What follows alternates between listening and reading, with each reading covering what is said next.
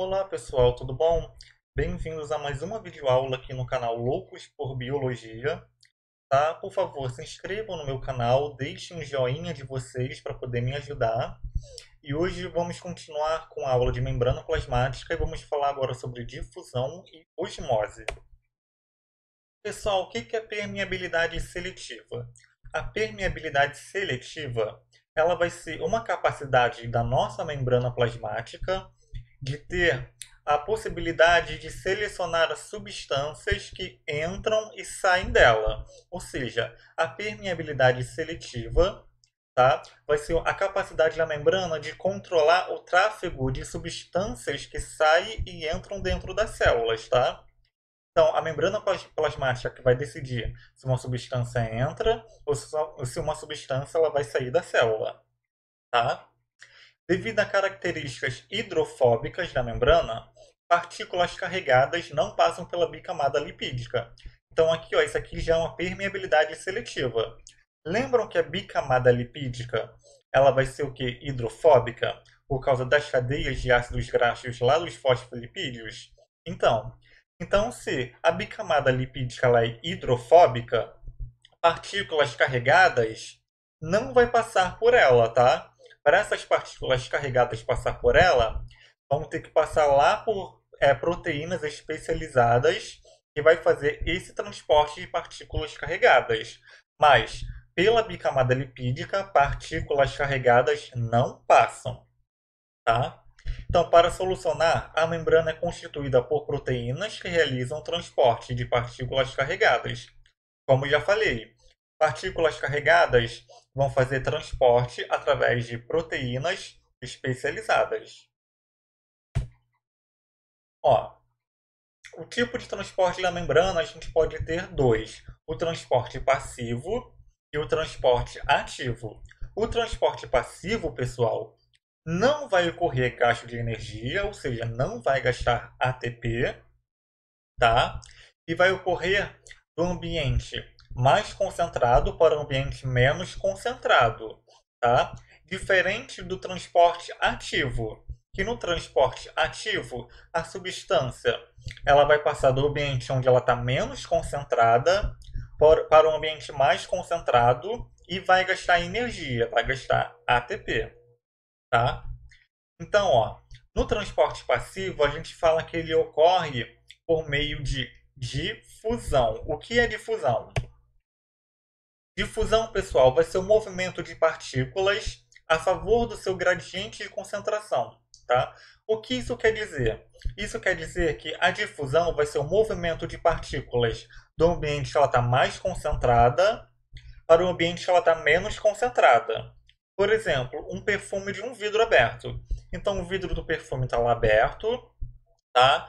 E perto onde está aquele frasco do perfume, a gente consegue sentir o cheirinho daquele perfume. Porque dentro do frasco o perfume está mais concentrado e fora está menos concentrado. Então as partículas de cheiro tendem a sair do ambiente lá do vidro, que está mais concentrado, para o ambiente menos concentrado. Isso que é difusão, tá, pessoal? Então aqui, ó, bem facinho, explicando o que é difusão. Aqui a gente tem dois meios, o meio A e o meio B. E aqui a gente tem como se fosse uma porta. Aqui ó, está mais concentrado. Esse ambiente tem muito soluto. Está mais concentrado de soluto. E aqui não tem nenhum soluto. Então, ó, o que, que vai ser a difusão? Quando retirar essa porta, as moléculas que estavam aqui, nessa parte aqui muito concentrada, vai passar para cá, onde não tinha concentração delas. Então, difusão. A passagem de partículas do ambiente mais concentrado para um ambiente menos concentrado. Aqui. Passou onde estava mais concentrado para um ambiente menos concentrado, se difundindo para o ambiente todo, se espalhando para o ambiente todo. Então, isso que é difusão. Outro conceito muito importante para o transporte de substâncias através da membrana é osmose. O que, que vai ser osmose, pessoal? Finja que você tem uma solução A e uma solução B. A solução A ela é menos concentrada, tem menos sal nela, vamos supor. Menos sal não, menos glicose nela, menos açúcar. E na solução B tem muito açúcar. Então o que, que vai ser osmose? Osmose vai ser a passagem da água que tem menos concentração de glicose para a água que tem maior concentração de glicose. Então, o que, que é osmose? Osmose vai ser a passagem de solvente através de uma membrana semipermeável. O que, é uma membrana semipermeável? É uma membrana que permite apenas a passagem de água.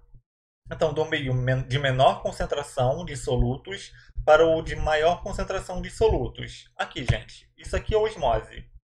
Aqui eu tenho uma membrana semipermeável que permite apenas a passagem de solvente, que nesse caso é água. Aqui eu tenho água com apenas poucas moléculas de glicose. E aqui eu tenho água com muita molécula de glicose. E essas duas soluções separadas por uma membrana semipermeável. Então, a osmose vai ser o quê? A passagem da água onde ela está menos concentrada para um ambiente de maior concentração. Então, a água vai passar daqui para cá, a coluna de água desse lado vai aumentar e aqui vai diminuir. Tá? Então, isso que é osmose. A água vai passar de onde ela estava numa solução menos concentrada para uma solução de maior concentração. Lembre-se, a água gosta de diluir. Se ela gosta de diluir, ela vai passar de onde tem menos concentração de solutos, aqui, ó, menos concentração de solutos, para o bem de maior concentração de solutos. Ok? Ó, então, sempre que houver diferenças de concentração entre duas soluções, ou seja, eu tenho duas soluções tá? Que ela tem diferenças de concentração, aqui ela está menos concentrada e aqui está mais concentrado. Sempre que eu tiver duas soluções com diferenças de concentrações, a osmose vai ocorrer, tá? Osmose. Mais um conceito, gente. Pressão osmótica. O que é pressão osmótica? A pressão osmótica é uma pressão que equilibra a entrada de água. Então vai chegar um momento, ó, a água está entrando por osmose, entrando por osmose, entrando por osmose, passando daqui para cá. Vai chegar um momento que a água vai parar de passar. Isso acontece por causa da pressão osmótica. Então essa coluna de água vai exercer uma pressão contra essa membrana semipermeável que não vai deixar a água passar mais. Então isso que é pressão osmótica, é pressão, tá? Que faz o equilíbrio da entrada de água. Quanto mais concentrada for a solução, ou quanto maior a diferença de concentração dos solutos entre as duas soluções, maior será a pressão osmótica. Ou seja, quanto mais concentrado for a solução, maior vai ser a pressão osmótica, tá? É diretamente proporcional, tá? Então, maior concentração da solução, maior a pressão osmótica. Então, e também quanto maior for a diferença de concentração entre as duas soluções, ó, aqui está muito pouco concentrado, aqui está muito concentrado, ou seja, quanto maior for a diferença de concentração das duas soluções, maior vai ser a pressão osmótica. Aqui, está simplificando a pressão osmótica. Aqui eu tenho água pura e aqui eu tenho água com glicose. Tá? A água vai passar de onde ela está com menos solutos para o ambiente com maior solutos, por osmose. Tá? Vai chegar uma hora que essa coluna aqui ela vai exercer uma pressão osmótica, tá? Uma pressão osmótica contra essa membrana semipermeável e a água vai parar de passar daqui para cá. Vai fazer o equilíbrio da entrada de água. Aqui. A gente tem três tipos, tá? De soluções em relação à osmose. A gente tem a solução hipertônica, é a, é a que tem maior concentração. A solução hipotônica, que tem menor concentração. E a isotônica, que tem a mesma concentração. Aqui, ó. Qual vai ser a solução hipertônica? A mais concentrada. Essa aqui vai ser hipertônica, porque ela está mais concentrada que essa. Essa aqui vai ser a hipotônica, porque está menos concentrada que essa. E a isotônica seria se aqui e aqui tivesse a mesma concentração. Beleza, pessoal? Osmose nas células animais, tá? Aqui, ó, a gente tem uma célula, uma hemácia, ela está mergulhada no meio isotônico. Se ela está no meio isotônico, como eu falei, isotônico, iso significa igual. Então significa que esse líquido aqui tem a mesma concentração que o interior da célula, que o citoplasma. Se tem a mesma concentração, a mesma quantidade de água que entra dentro da célula é a mesma quantidade de água que sai da célula. Então a célula fica normal. Se a célula fosse mergulhada no meio hipertônico em relação ao seu citoplasma. Se ela está mergulhada aqui ó, no meio hipertônico, significa que esse meio é mais concentrado. Se aqui é mais concentrado, a célula vai perder água, ó, a, célula, a água saindo da célula, e essa célula aqui vai murchar. Quando ela murcha, a gente fala que ela sofreu crenação. Então, quando a célula está mergulhada num ambiente mais concentrado, hipertônico, em relação ao citoplasma, ela perde água. E aqui é o contrário. A célula está no meio hipotônico. Se ela está no meio hipotônico, significa que aqui está menos concentrado e dentro da célula está mais concentrado. Isso significa o quê? Se aqui está mais concentrado, a água vai sair daqui e vai entrar para dentro da célula por osmose. A célula vai inchar e vai estourar. Quando a célula incha e estoura, esse fenômeno se chama plasmopipse, que no caso da hemácia se chama também hemólise. Osmose nas células animais. Continuando, o, o, o que eu já falei. Hemácias no meio isotônico, elas ficam normais, ó. No meio isotônico não acontece nada com elas. Aqui. Hemácias no meio hipertônico. Aqui no meio hipertônico. Aqui ela vai perder água por osmose, porque aqui está mais concentrado do que o citoplasma, então a água vai sair de dentro da célula. E quando ela está mergulhada no meio hipotônico, aqui hipotônico está tá menos concentrado que o citoplasma, a célula vai ganhar água e vai sofrer plasmopítise, vai inchar e estourar. É isso aqui que está dizendo. Isso aqui, pessoal, esse slide explica esse slide aqui. Agora nas células vegetais. Nas células vegetais, gente, ela não vai estourar, tá? Ela não vai sofrer plasmopítise, porque a célula vegetal ela tem uma parede celular rica em celulose. Ela é muito resistente. Então, quando, quando a célula for mergulhada no ambiente hipotônico, tá? O ambiente hipotônico significa que o meio que ela está mergulhada é menos concentrado. Se está menos concentrado, vai entrar água para dentro da célula, tá? A célula vegetal ela vai ter um vacúolo que vai acumular a água e os sais, tá? A água que entra para dentro da célula vai entrar para dentro desse vacúolo. Ela vai inchar e quando ela incha, o volume dela aumenta. A gente fala que ela sofreu turgência, ou seja, a célula está túrgida, está inchada a parede celular exerce uma força contrária à entrada de água. Então, quando a célula inchar, a parede celular também ela vai inchar, tá? E vai ficar mais, mais avantajada. E essa parede celular vai exercer uma, uma pressão contra a entrada de água. Tá? E a célula vegetal não vai estourar por causa da parede celular que protege ela. É exatamente isso aqui, ó. Osmose na célula vegetal. A célula vegetal aqui, gente, está mergulhada no meio isotônico. Ou seja, o meio que ela está mergulhada tem a mesma concentração que o citoplasma, tá? Então, a mesma quantidade de água que entra, mesma quantidade de água que sai. A célula fica normal. Aqui, ó, ela está mergulhada no ambiente hipotônico. Ou seja, o ambiente que ela está mergulhada é menos concentrado que o citoplasma. Ou seja, se é menos concentrado que o citoplasma da célula, aqui dentro da célula está mais concentrado, a água do ambiente hipotônico, do líquido que ela está mergulhada, vai entrar para dentro da célula e a célula vai ficar túrgida, vai ficar inchada. E aqui a água vai ficar armazenada dentro do vacúolo. Tá? Então aqui, ó, água entrando, tá? Entra muita água e sai pouca água. E aqui, ó, quando ela está mergulhada no ambiente hipertônico, se ela está mergulhada num ambiente hipertônico, significa que esse líquido que ela está mergulhada é mais concentrado, tem mais solutos que o citoplasma.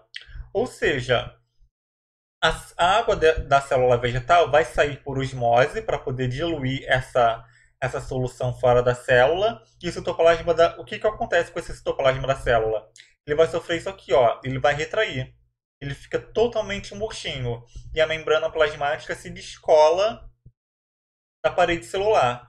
Quando isso ocorre, a gente diz que sofreu plasmólise. Então, plasmólise é quando a célula vegetal perde muita água, tá? o citoplasma dela né, murcha e a membrana plasmática se descola da parede celular. Isso acontece quando ela está num ambiente hipertônico. Pessoal, questão do Enem, ó, muito simples, caiu no Enem esse ano, tá? que é a questão da cozinheira. Essa questão, ó, fala assim: uma cozinheira colocou sal a mais no feijão que estava cozinhando. Para solucionar o problema, ela acrescentou batatas cruas e sem tempero dentro da panela. Quando terminou de cozinhá-lo, as batatas estavam salgadas, porque absorveram parte do caldo com excesso de sal. Finalmente, ela adicionou água para completar o caldo de feijão. O sal foi absorvido pelas batatas por. Então a pergunta é: qual foi o mecanismo que fez o sal sair do caldo de feijão para a batata? Então vamos lá. A cozinheira, gente, salgou muito feijão. O feijão ficou muito salgado. O caldo do feijão estava muito salgado. Ou seja, o caldo do feijão estava muito concentrado. Quando ela colocou, colocou a batata tá, dentro do, do, do feijão, esse sal saiu do caldo de feijão e entrou para dentro da batata. Tá? Ou seja, o sal se movimentou do meio que estava mais concentrado para o meio que estava menos concentrado. Isso se chama o que, gente?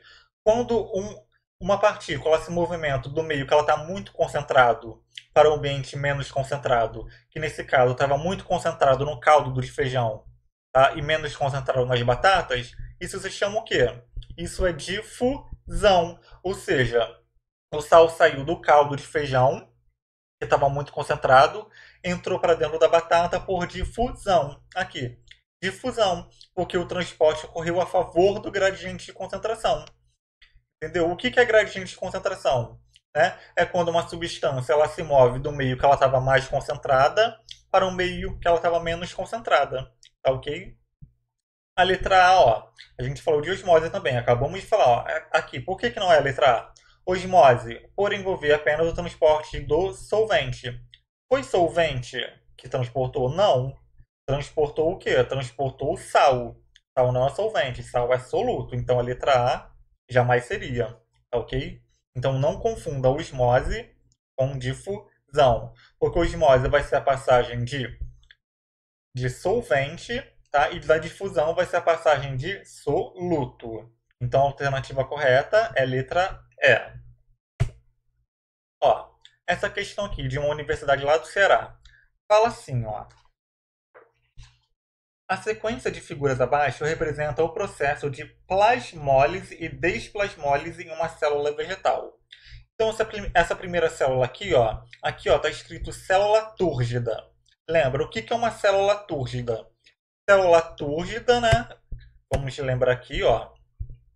Túrgida, ela está túrgida. Aqui, está túrgida. Essa daqui do meio. Ó, é quando ela está inchada. Se ela está túrgida, significa que ela está mergulhada no ambiente hipotônico. Ok? Exatamente isso aqui. A célula está túrgida, então ela está mergulhada no ambiente que está mais, mais concentrado. Aqui, ó. Célula plasmolizada. O que é uma célula plasmolizada? Essa daqui, ó. Célula plasmolizada. É quando a célula vegetal ela perde muita água. E aí acontece isso aqui com o citoplasma, ele fica todo retraído, ele murcha. Então, ela vai ficar plasmolizada quando ela estiver no ambiente hipertônico, porque ela vai perder água para esse ambiente. E aqui, ó, novamente uma célula túrgida. Ocorreu desplasmólise. Desplasmo... Desplasmólise é o contrário de plasmólise, ó. Então, ó, aqui é plasmólise, quando o citoplasma ele fica retraído e desplasmólise ao contrário, é quando o citoplasma ele fica muito cheio. Aqui, ó, a célula ficou túrgida novamente. Então aqui ela está túrgida, aqui ó, ela está plasmolizada e aqui ela está túrgida de novo. Ó. As situações 1, 2 e 3 podem ocorrer quando a célula é colocada respectivamente em. Então aqui, ó, se a célula está túrgida, significa que entrou água nela entrou água nela, ó, ela tem que estar ó, no ambiente hipotônico. Então, ó, é letra A, ó, já não é letra A. Então a gente já desclassifica a letra A.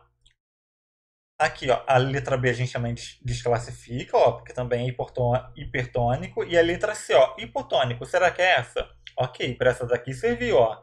Que se a célula está túrgida, significa que ela está mergulhada no ambiente hipotônico e entrou água nela. Por isso ela está túrgida, está inchada. Ok. Então, na figura 2, poderia estar na água pura? Aqui, ó. Se a célula está aqui, ó, ela está o quê? Ela está plasmolizada, significa que ela perdeu o que? Água. Se ela perdeu água, ela tem que estar no ambiente ó, hipertônico para ela sofrer plasmólise, tá? Então ela poderia estar na água pura? Também não, tá? Então ela tem que estar numa água muito concentrada. E aqui ela está túrgida novamente. Se ela está igual essa daqui, ela está mergulhada no mesmo, no mesmo, no mesmo tipo de solução, também hipotônica. Então, ó, a alternativa correta seria ó, a alternativa D. Aqui na 1, a célula tem que estar no ambiente hipotônico.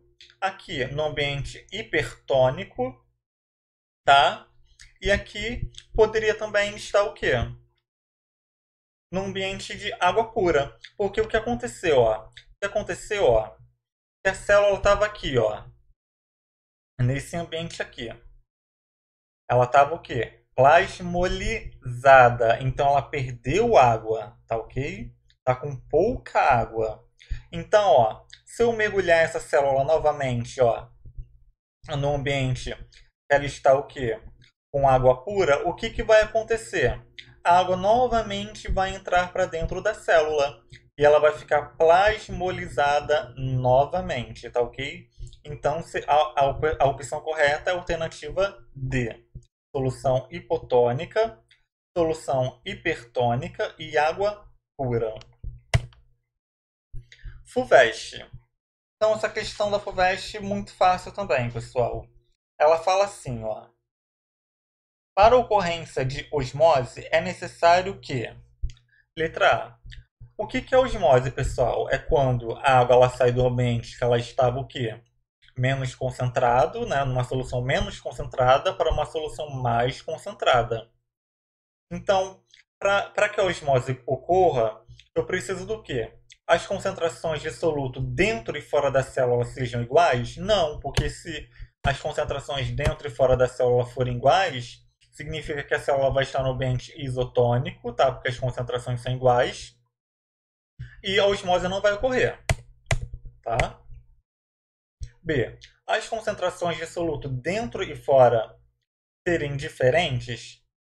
Para ocorrer o que? A osmose, eu preciso da, da célula estar no meio, tá? Que o citoplasma dela, ela vai ser, vai ter uma concentração diferente da concentração da externa, tá? para que a água entre dentro da célula ou a água saia dentro da célula. Então, as concentrações de soluto dentro e fora serem diferentes. Essa daqui é a resposta correta.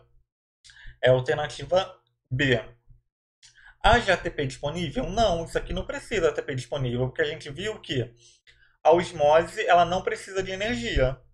E haja um vacúolo no interior da célula? Não, porque a osmose ela também ocorre nas células animais. Célula animal não tem vacúolo. E aqui, pessoal, para refletir, vamos nessa questão aqui. Ó. Quando estamos com diarreia ou vômitos intensos, é comum os médicos prescreverem o uso do soro caseiro ou até mesmo intravenoso, sabendo que na desidratação as células intestinais estão com baixas concentrações de água e solutos, qual a razão da prescrição do soro contendo sal e glicose? O que, que ele quis dizer com isso, gente? Quando a pessoa está com muita diarreia, significa o quê? Que ela está evacuando muito, está perdendo muita água, por isso a pessoa fica desidratada. Então lá as células intestinais vão ter pouca água e vai ter pouco, pouco sais, né? poucos solutos lá no citoplasma, porque ela perdeu junto com a água. Então, por que, que o médico ele prescreve um soro contendo sal e glicose? Né? Vamos pensar lá na osmose. Quando a pessoa bebe o soro contendo sal e glicose, essa água do soro, esse sal do soro e essa glicose vai entrar para dentro daquela célula, tá? Que estava com pouca água. O que, que vai fazer? Vai fazer a reidratação. Ou seja, vai entrar sal e glicose lá no citoplasma da célula, tá? A concentração de sal de glicose vai fazer com que a concentração do citoplasma aumente e mais água vai entrar dentro da célula por osmose. Por quê? Porque a concentração de solutos lá no interior da célula vai voltar a ser grande, vai voltar a ser maior. Isso vai fazer o quê? Que mais água entre para dentro da célula por osmose. Por quê? Lá no citoplasma vai estar muito concentrado e fora vai estar menos concentrado. Então a água tende a entrar para dentro das células intestinais, fazendo novamente a reidratação. Então, ó, qual a razão da prescrição do soro contendo sal glicose? Então a razão é para fazer a reidratação das células intestinais, para que o ambiente lá do citoplasma da célula fique é, hipertônico, muito concentrado, fazendo com que mais água entre para dentro da célula e o indivíduo ele se reidrate novamente, ok? Então, pessoal, essa é a aula de hoje. Espero que vocês tenham gostado. Se tiverem alguma dúvida, pode deixar nos comentários. Deixe o seu joinha, se inscreva no meu canal para me ajudar, tá bom? Ative o sino para poder receber as notificações de novos vídeos e até a próxima, pessoal. Fiquem com Deus.